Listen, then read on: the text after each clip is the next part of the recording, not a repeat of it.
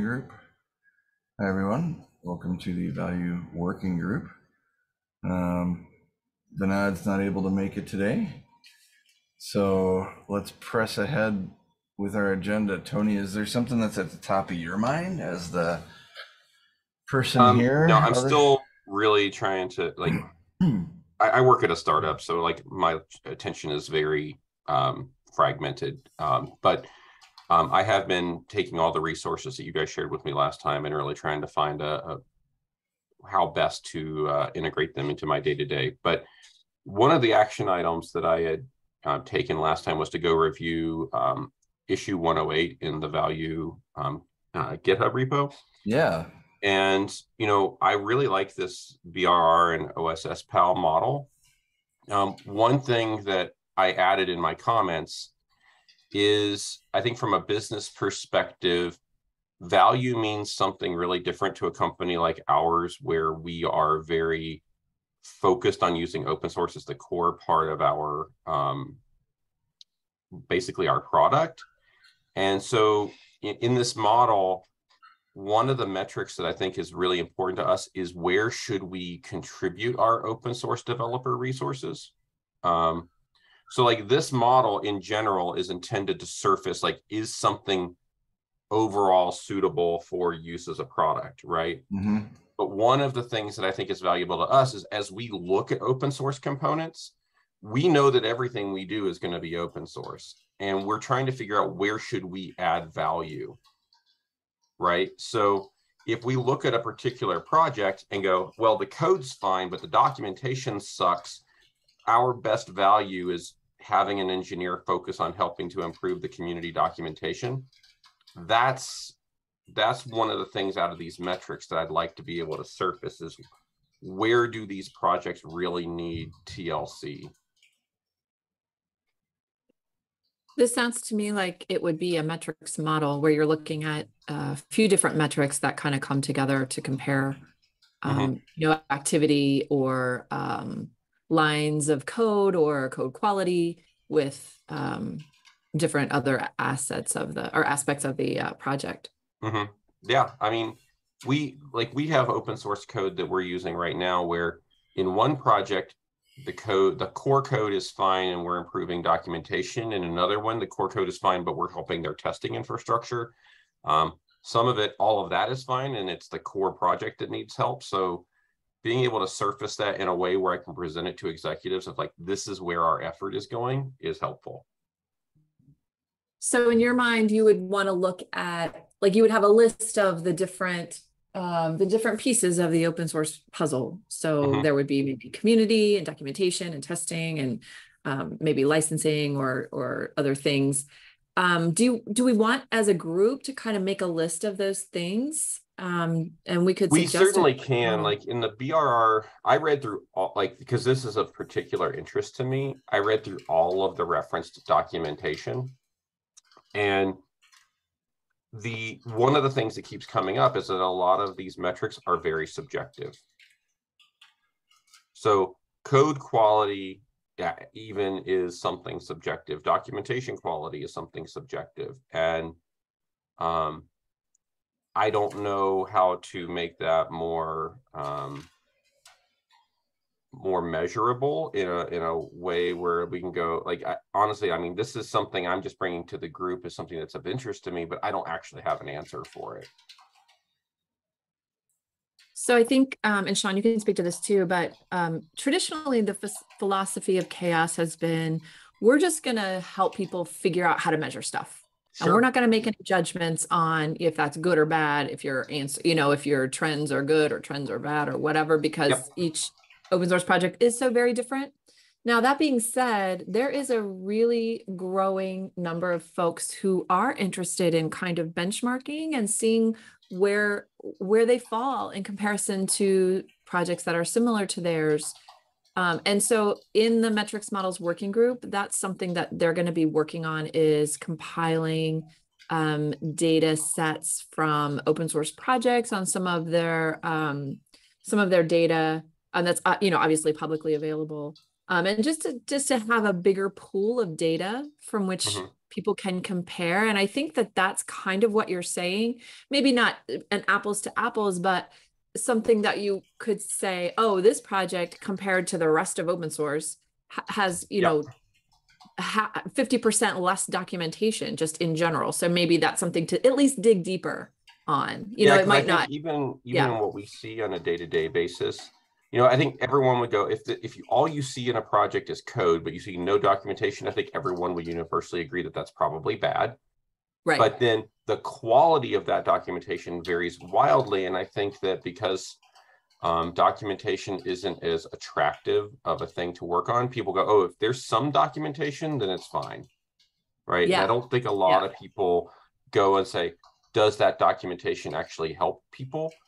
And documentation is i mean there's a lot of different documentation that's needed. We've actually run into some situations on our side where there is documentation but all that documentation is geared towards end users and none of it is geared towards developers of like how to get engaged and how to get started Yeah.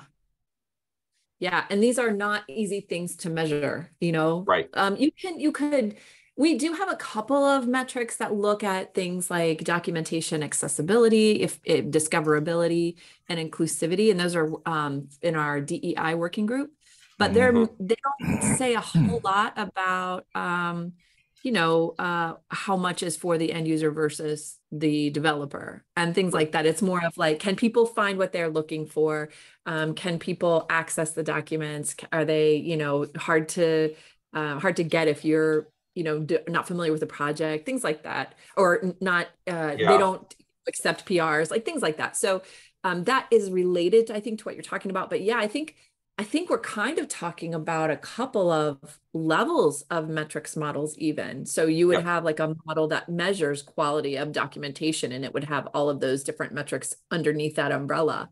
And then then the second piece would be uh, code quality, which I think is a is another whole metric model, obviously. And so then you would have you know all of these different metric models, put them together in one giant metric model to see where that and that's what kind of what top. this Yeah. oss pal um, metric is trying to accomplish it, it seems um, because the, the the in this thread originally there was a model called brr um, and which was the business readiness rating and even the original author of it acknowledged like it didn't do it wasn't really usable in an open source way and so that's where they came up with this oss pal metric um, and you know you're absolutely right elizabeth like i don't i've been actually even trying to brainstorm like how how can we get data that's harvestable right? And like one of the things i find valuable is when people are talking about it and a couple of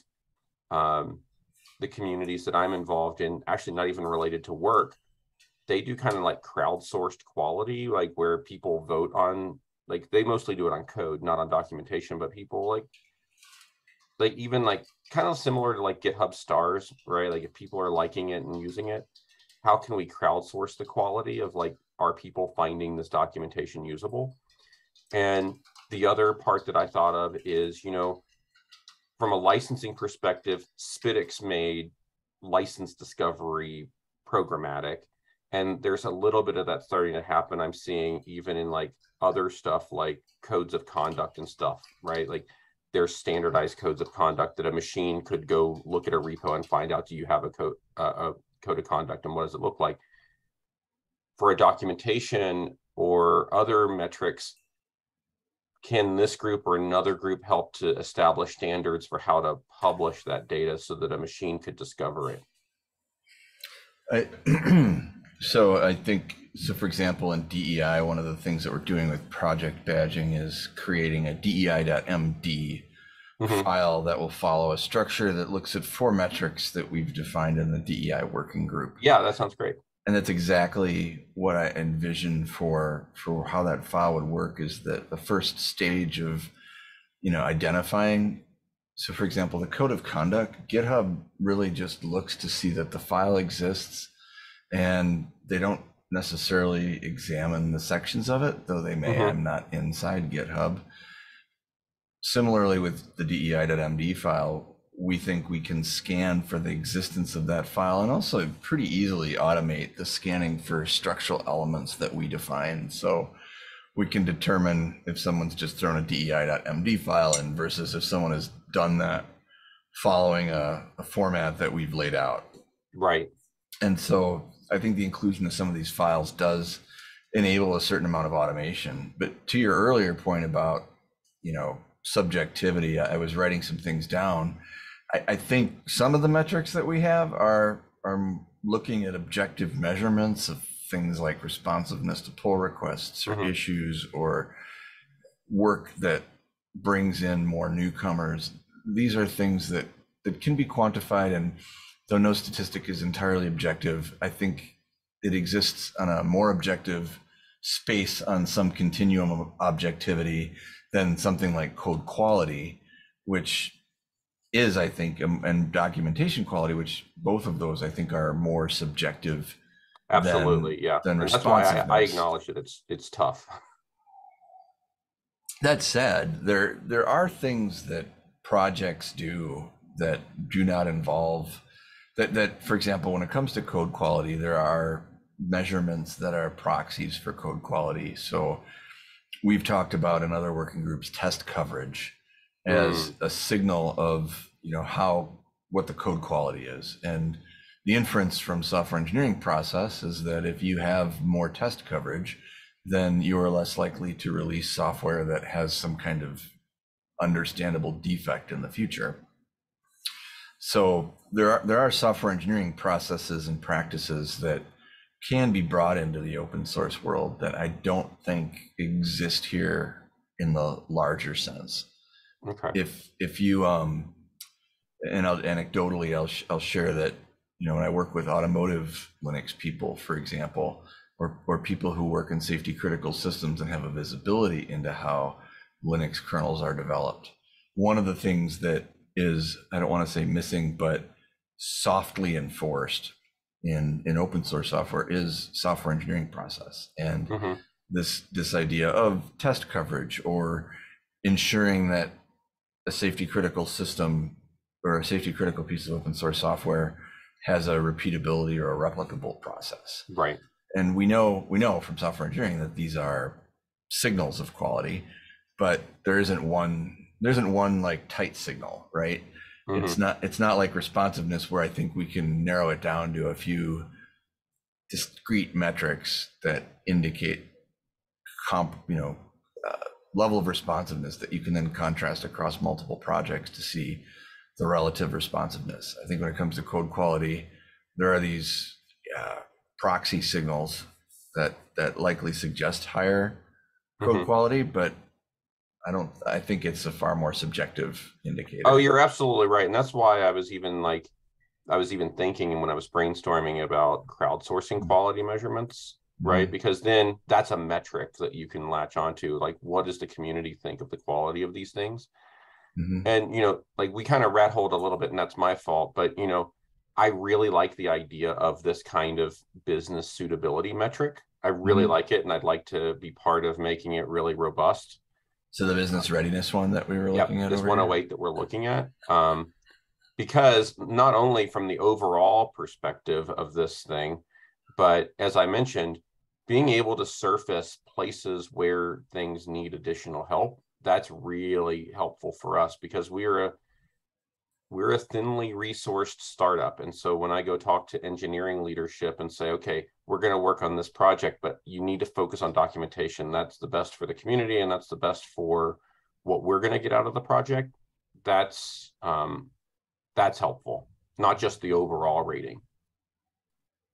Yeah, and these Yeah. images that you you have here, Sean, these are a little I think- misleading right now because those all reference the BRR model that even in, if you read through the thread of responses, yeah I didn't want to drag us through it today but model.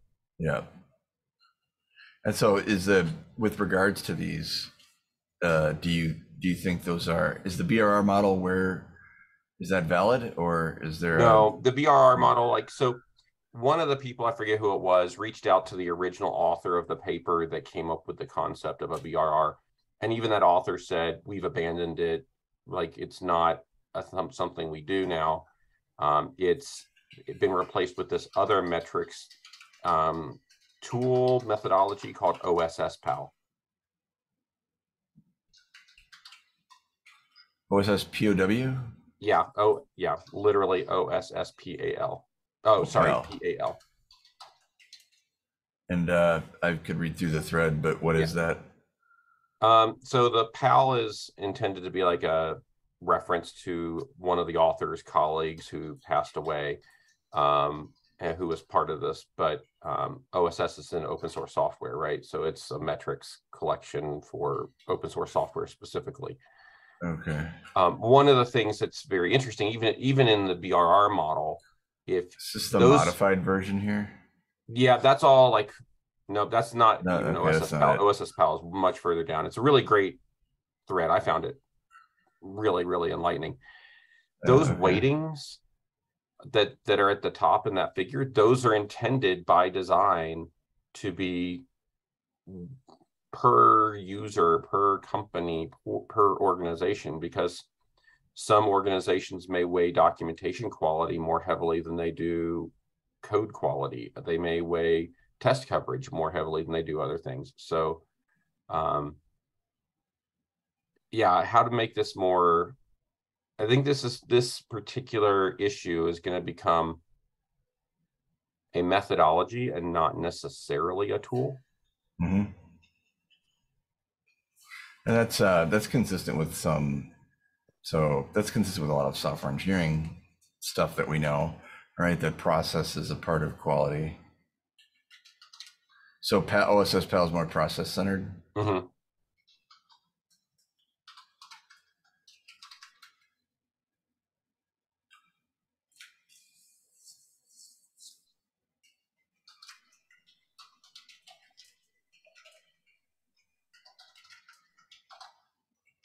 So what would be the path to implementing something that's a metric for this? Is that um, I haven't read the paper. and It looks like a book. Yeah. So I think So I might not read that right now predominantly right, sitting here. now it's going and looking at the stable of metrics that already exist in CHAOSS and find and and matching up some of the metrics that align one to one and then for some of these others like the quality ones figure out how to make them more um, objective and measurable so that they can be added to the model as well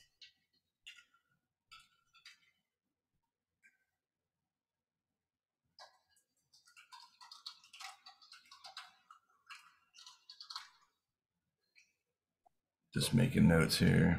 Mhm.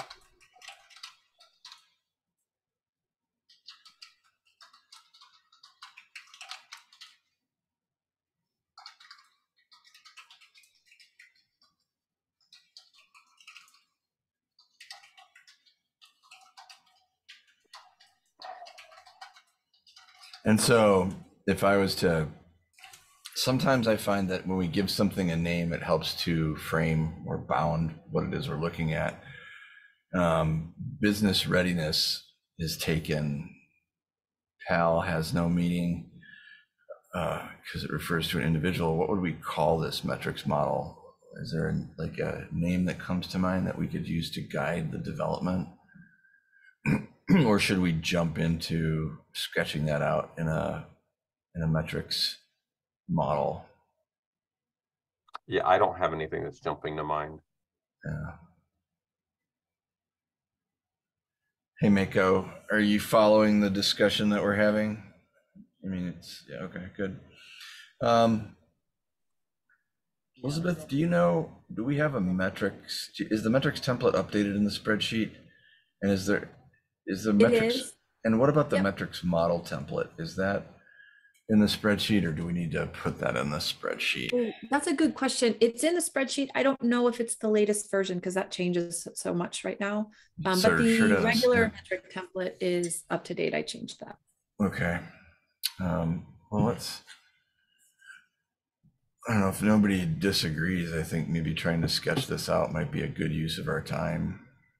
So I was just thinking about this and even thinking about my own comment here. And maybe we can go a different way to get to some of this. Yeah. So, you know, when our, as I put in my comment, my primary thing is figuring out where are, and I, I use this word not in a diminutive way. I just trying, I don't have a better word. Where are open source projects weak? Where do they need help? And so maybe if instead of trying to like us as a metrics organization trying to look down and like divine that by looking at a repo, um, if there was instead a standard for how projects can declare their known issues or known quality or where they need help, right?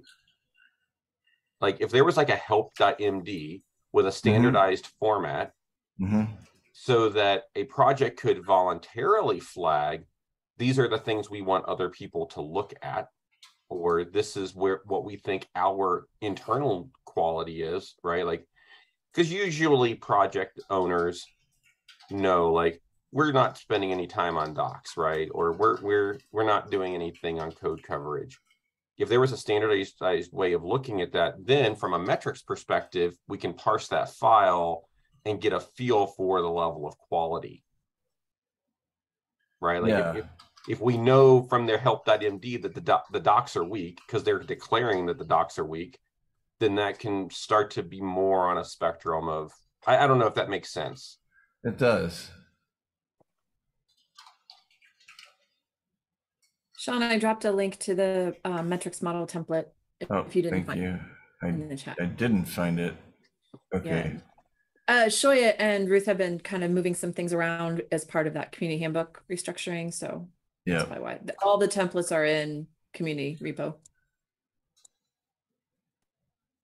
Yeah, I looked for them there, and uh, community resources isn't where I would have looked.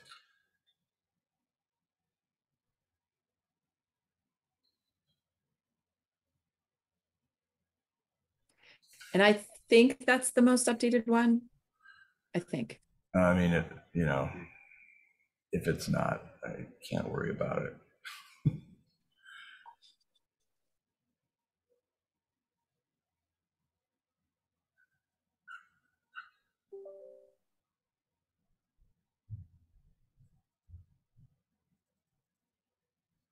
So uh, I'm just going to create this right now.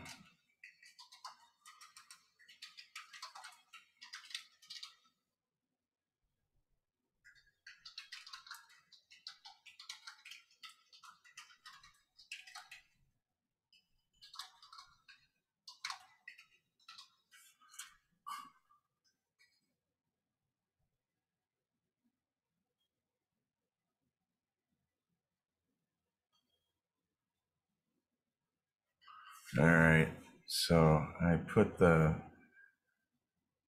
I'll do, I'll work with consensus here. If there's uh, folks who'd like to not work on this, just let me know.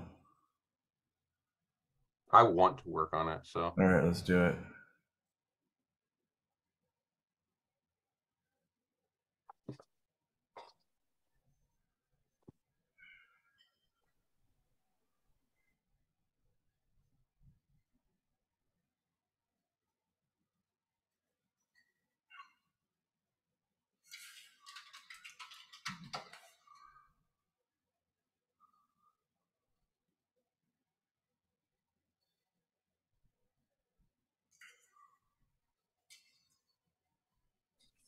All right. So yeah, business. I mean, business readiness. I don't have a better word for it, but I would. It's uh somebody has a studio called Working Title Productions. I forget who it is. we'll just call this the Working Title. Yeah, I mean, Um, honestly, I have a podcast that we did something uh, similar with our title of our podcast. That's it's literally called the Untitled Prog Podcast, right? Yeah. So it's like, I get Yeah. that, So we will. um but um,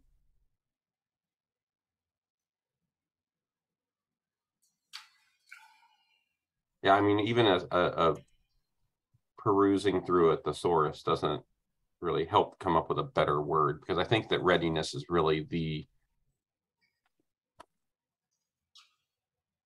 but I mean, if I take the other angle of this of like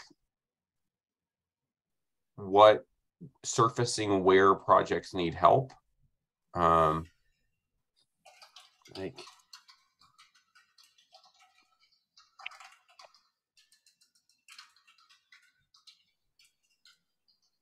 yeah, I don't have a good.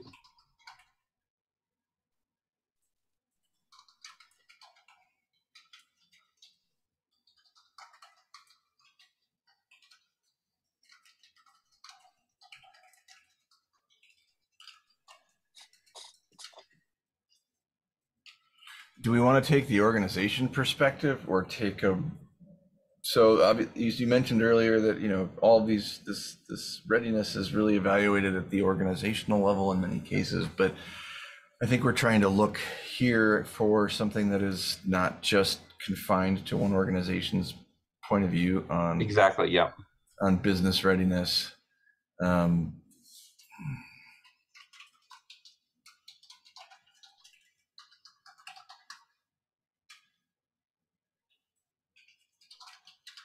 Do we want to uh, consider the opinions of the project itself? Like, is that a proxy for um, what the, like, do we care what the project thinks? So in other words, if they think, oh, we need help with documentation. So here's a hundred issues that all say help wanted and it's all related to documentation not because that's helpful. where we think we need the help. Is that something we would want to consider here? I, I absolutely think so. Yeah. And um, how do we valence that? Because on the one hand, I could argue, wow, 100 issues related to documentation, that's pretty bad. On the other hand, you took the time to identify them all. So that suggests that they'll be worked on. Um, Like if an open source project's trying to guide their own contributors towards a certain section because they've identified or they think they need, they're weak Yeah, that that's what. I was kind of proposing with that, like idea of like maybe like a help.md, right? Yes, right. Yeah, sorry. Yeah, yeah, yeah, yeah. Where they could have a file where they're identifying that and the, the only reason to put it in the file is so that it's machine readable. Got you. I misunderstood what we were talking about there. Sorry about that.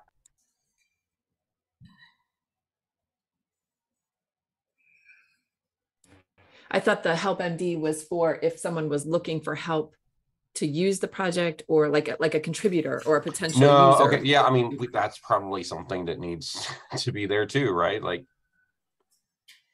I think that they, I mean, maybe what we're surfacing here is that there's a. A need for projects to be able to signal to people. What the needs of the project are and the, the state of the project.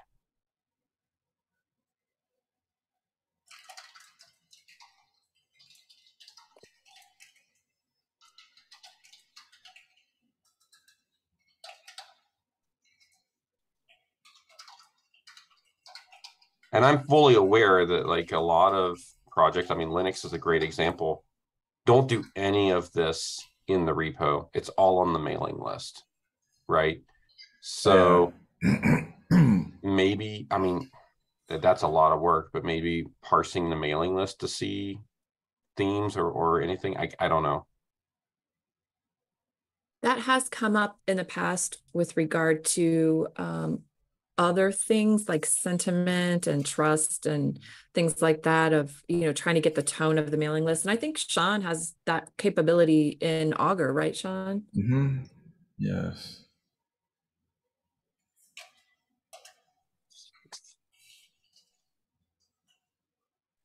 Because Sean has a way to look at communication in the community to identify if there are problems um, with, you know, communicating. So we could, I mean, I, I say we, Augur Or could any, maybe yeah. potentially, yeah, do Right. something with the mailing list that way.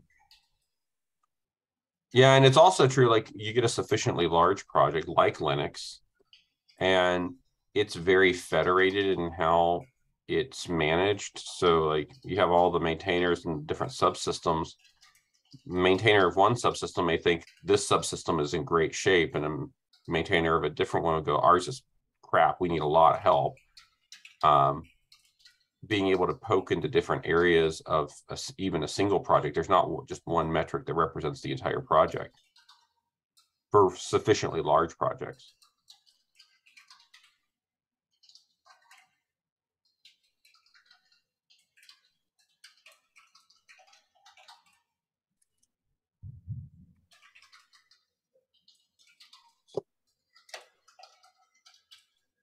So I guess I'm I'm still kind of confused on this help.md. Sorry. Yeah, might be it's the probably like, it was just the first word that came Yeah, to mind. It- no. Maybe a bad name, but No, it's it's not it's not you, it's me. the, the real uh, intent was for the, to have a way for the project to signal outbound. This is what we know is weak. This is what we need help on. Is it, I so I wrote a, desc- I tried to capture that or what I interpreted help.md to be in the text here. Am I close? Yeah, you nailed it there, Sean. Okay. Okay. So do do people not put some of that information in contributing.md or is contributing mostly just uh how to contribute and Yeah, like the, in, the in my experience, contributing is just the nuts and bolts of like, Okay. this is how to get the code, this is how to compile the code, this is what we would expect in a patch. Yeah. That, that's Okay. my experience as well. Uh, there- It's not to say there aren't projects who may put some of this stuff in there, but I think contributing is a less dynamic document than I would imagine this one to be. Mhm. So if a project put Okay. forward, they need help in certain areas, I suspect that once they got that help, the, the help.md might evolve.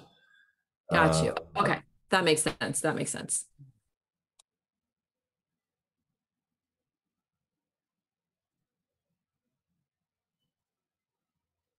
And you know, kind of implicit in all of this is like an expectation from the outside world that all of these projects are kind of following software engineering first principles in terms of discipline, which is not always true.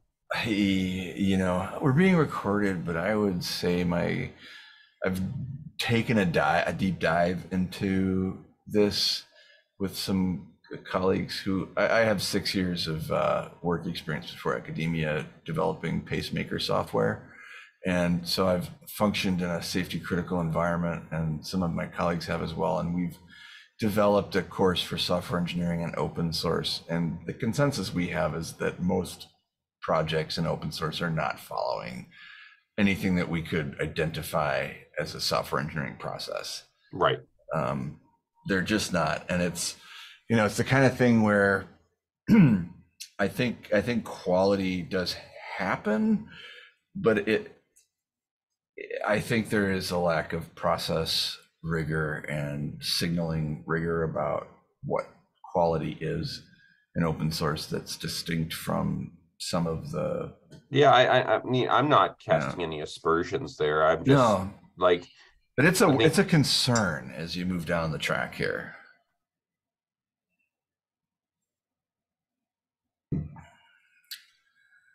so i like this help.md are there other metrics that we don't have that we think we may need to develop to support this metric model?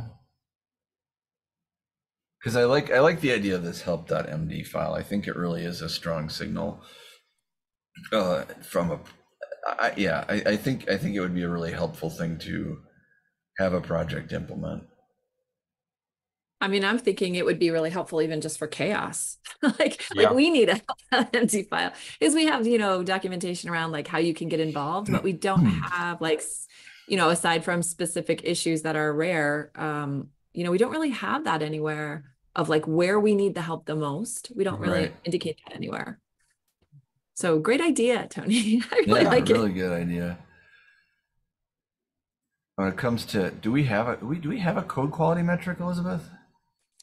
Like I know Um, it's I- a category of metrics. See, that's that's where I'm kind of getting confused because, or not confused, but I think that this kind of business readiness model is going to be a, a metrics model made of metrics models. yes. Because I think code quality is a metrics model, and I think documentation quality would be a metrics model. So it's like a a mega a mega metric model in business readiness. Yeah, so I mean, I'm looking at the yeah. evolution spreadsheet here, and we, we actually did say code development process quality. So, not treating code develop, not treating code quality as a static thing, but recognizing that code quality tends to be derived as a function of process quality, um, Mhm. in the software engineering literature, at least, um, which is not a bad reference point for something like quality. I think there's there's also when it when it comes to like actual code quality, there are I mean there are measurables that like uh, test coverage, which has Mhm. been discussed, before, and I believe that's in the risk working group. Uh, kind of out of left field, you know, something else that I thought of with this help.md file is, you know, I spend a lot of time in various open source communities just in my personal life. And it's pretty common that like newbies come in and they're like, I don't know how to get engaged in this project. Like, what is this? How can I contribute to this project? And I think a help MD file can help that as well, right? Because you know, I I pretty commonly tell people, if you want to get in, get started, go help someone translate something into a different language, or go help someone with documentation or whatever. Because a lot of people feel intimidated by code. A help MD file could help that as well by giving a concrete thing like where people can say, check the help.md file. That'll tell you where you can contribute right away. Yeah, so we do have a test coverage metric that we've Nice. developed, um, which I'll throw in there as a link. And this is, so one of the things with test coverage that we've learned by doing it is that this metric is fairly, it was not, it's not difficult to define because the software engineering literature does a pretty good job of defining it. What is difficult about it is that implementation tends to be very language specific. So when you're trying to evaluate test coverage or code quality or anything like that, the tools tend to be very language specific. There are tools for C, Python, C sharp, whatever your language is. There isn't, uh, as far as I've discovered to date, a generalized tool that will look at things across different um, there's no tool that will look at test coverage across languages. You know, it's all very highly language specific. Uh, just a note, but we do have test coverage as a proxy. And I think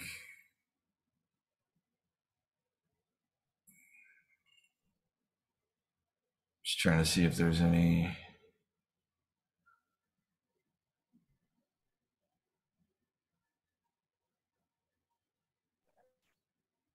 Tony, I have a quick question for you.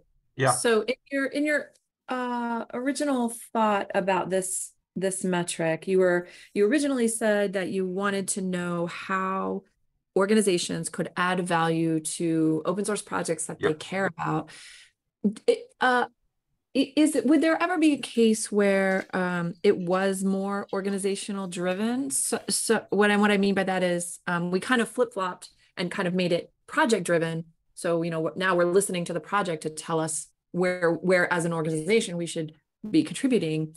But if like if a project um I, I think I I'm just see trying to think of how to- how to- Yeah. yeah you know if you if your organization cares about um risk and dependencies but the project is a little more laid back in that area like it- how do we incorporate that desire That, I think that comes from the weighting of the metrics. okay right. So in the OSSpal model and even in the old BRR model, um, as part of that, there's those weightings, right? So okay um and that's up to that's definitely an organizational thing where the like we may care a lot about docs and so the status of docs in a particular project would be elevated in that way. Okay so we should maybe incorporate kind of both sides of that coin Yeah. into this model. Okay. I think so.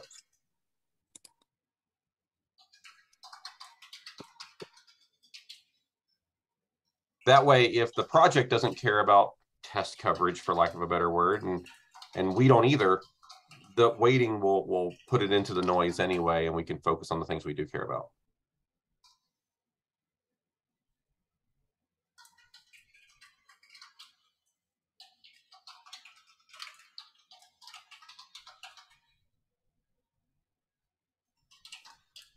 I, Sean, correct me if I'm wrong, but if, if I recall, that original business readiness model um, also kind of took a spin of if a project's looking for funding or some kind of monetary, like donations or things like that.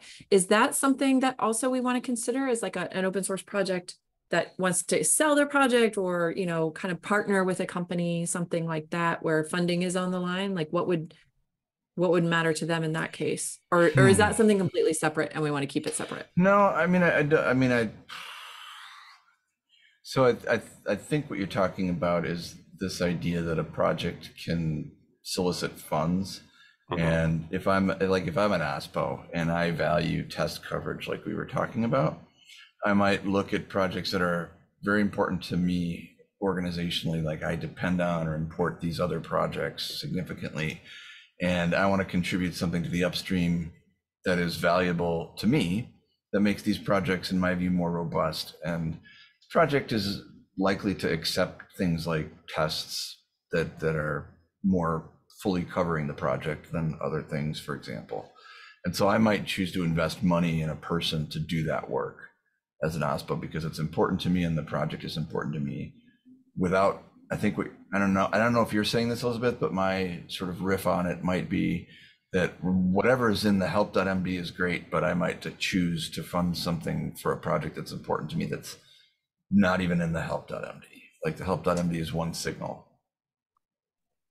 Yeah, Yeah, I you know, just- that, that brings up a different angle on this that I've run into as well. So, you know, Rapid Silicon, we're a FPGA vendor and we're dealing with a lot of like open source tooling in the EDA world. And be, uh, there are reasons for it that we don't need to get into right now, but a lot of those projects don't take um, they don't take pull requests. Like they take guidance from the community, and one of the ways they take guidance is for companies to sponsor work in a particular area, right? So for a synthesis tool, we may the way that they're going to get like a direction to go work on a particular feature is if a vendor is paying for it and putting their direction in that way. So I think we have a metrics model called organizational influence, Hmm, something yeah, like that, right, Sean, I believe? And um, that kind of might tie into this as well. I mean, I don't want, like, part of our struggle with developing these is, you know, the scope Yep. just keeps getting broader as we think of different ways to apply the metrics. So um, I don't know that it could be in this, but I feel like there is some kind of tie there. And I also know that there are companies um, who are interested in sponsoring monetarily um, open source projects, but they want to make sure they're putting their money in good places and you know things that are valuable to them and things that are valuable to the community and that they're healthy projects. So I know that like there's that piece too, like overall project health. Because even if Yeah. it's a project you rely on, maybe it's a super toxic project and you don't want to you don't want to give money to them or or you want to give money to them in, in a way that you know they don't want to accept or something so i think there is a, some some kind of um, bridge between money and this model somewhere just mhm. we got to figure out how narrow i think we want to include it into this uh into this Right. metric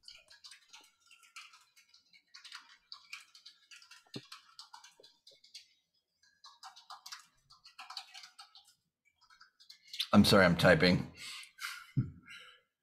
And, no you're uh, good Tell me if I'm doing, if I'm getting things down.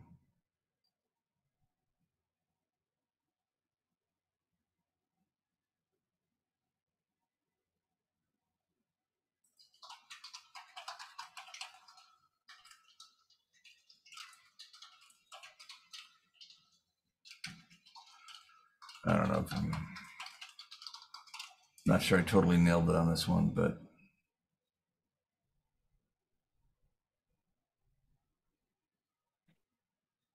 And sorry, one more thing, one more thought about the funding is um, if I'm a small open source project and I think to myself, I want to have money coming in from sponsorships, GitHub sponsorships or donations, whatever. What do I need to do to get there? Like where, where, what do I need to to provide? What information do I need to provide? Is it in the health.md? Is it in my, you know, project plan? Is it in some kind of health report that I can post?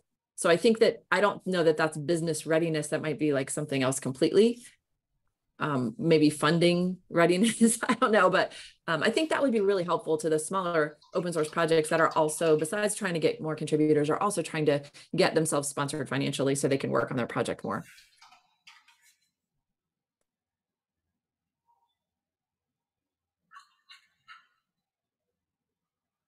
Um, I'm not sure what to type there. You don't have to type anything, Sean. I'm just rambling on random thoughts. I think that's a totally separate metric model now that I say it out loud. That, okay.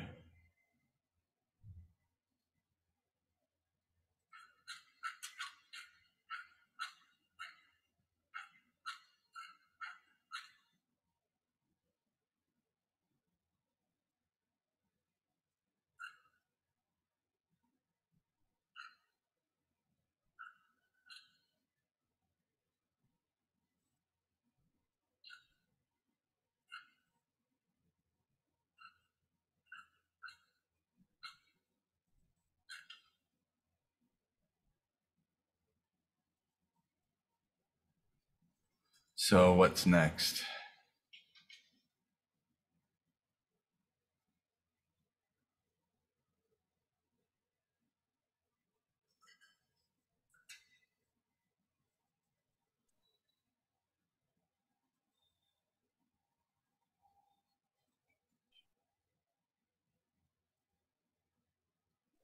The end of the meeting because it's Oh, 10 till. it- oh my God. It is. Uh, wow, I'm sorry. I, am glad somebody's noticing that because I'm not taking that uh, at all. All right. Um, good discussion, everyone. I think actually it's kind of cool that we made some progress developing a metric model here. Yeah, I really appreciate you guys um, picking up the ball and running with it with me Yeah. here on this. Um, so in the normal process do you guys follow, like now that we've identified we might want to have this help.md file, does that become like a different separate sub working group to like identify that, or how does that have to happen? I, I don't think it has to happen in a particular way, but I think I think that it's the kind of general thing that we probably want to bring to the community meeting so that we can talk about it there because if it, it would then become more of a I would say, you know, when we try to do things that are going to influence open source as opposed to sit back and calculate things about open source, we tend to make those initiatives. So, for example, examples include the metrics model working group itself and uh, the DEI badging program, first events, and now the work that we're doing with badging projects. Mhm. Uh, and the, and that's actually where the DEI.md file comes from. And I think the help.md file is a sort of a quality focused pair to that, where we're saying the inclusion of these MD files and this and structuring them is important um, to CHAOSS. And so one thing I'll do, I'll just uh, copy this meeting in the minutes and put the maybe continuing this metric model and also developing uh, a new metric model or a new the help.md file put that at the top Okay, of the next meeting minutes I was also going to say, I think the DEI working group would be super interested in that. Um, so they do a lot of work with onboarding newcomers and making, Mm, you know, more, making it easier for people to contribute. So um, they might be super interested in helping kind of flesh out what that would look like and what should be included in that file. awesome.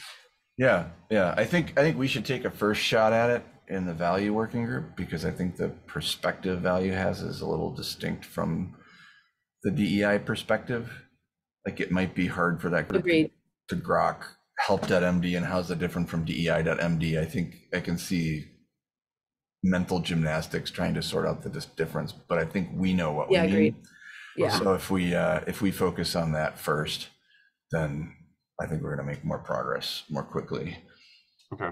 I've, I've learned if I can dodge definitional debates inside CHAOSS, we we work faster. so um, I guess the time is up, so I'll stop